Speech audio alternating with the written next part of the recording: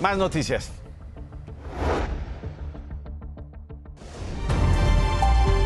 Tras bloqueos a los accesos de la Terminal 1 del Aeropuerto Internacional de la Ciudad de México y quemar propaganda política fuera del INE, la sección 9 de la CENTE acordó con el gobierno federal un aumento del 11.08% directo al salario y del 2% en prestaciones. Sin embargo, comentaron que el plantón en el Zócalo seguirá hasta el 4 de junio.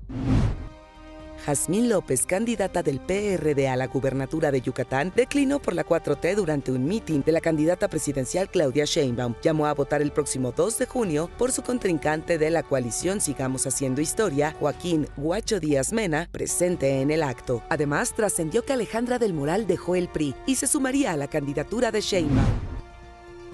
Los Centros para el Control de Enfermedades de los Estados Unidos emitieron una alerta por un posible brote de infecciones extrapulmonares en tres pacientes que recibieron inyecciones de células madre en México durante 2022. Ante esto, el Partido Verde recordó que presentaron una iniciativa para reformar la Ley General de Salud, estableciendo lineamientos para el uso de células madre en investigación y tratamientos médicos. El Verde insistió en la importancia de garantizar que esas células no comprometan la integridad de los individuos.